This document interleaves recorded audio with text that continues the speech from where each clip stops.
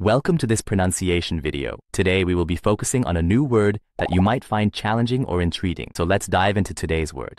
Suche, which means Suche means search or quest in German. Let's say it all together. Suche. Suche.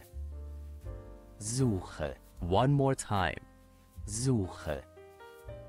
Suche. Suche. Thank you for joining us on this adventure in pronunciation. Remember, language is a journey, not a destination. Keep exploring, experimenting, and expanding your linguistic horizons. We'll see you next time.